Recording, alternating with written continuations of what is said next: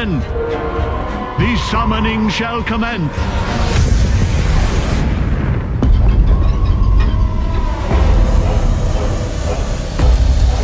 The dim ones have attempted to contain our light.